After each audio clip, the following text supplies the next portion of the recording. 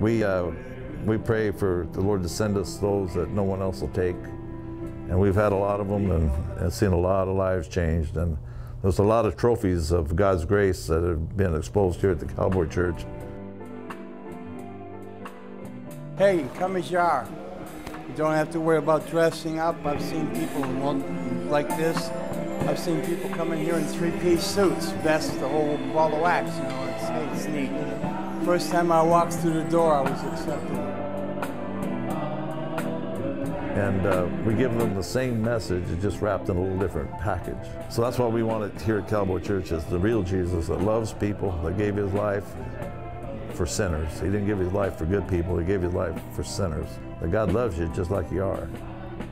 Come on in.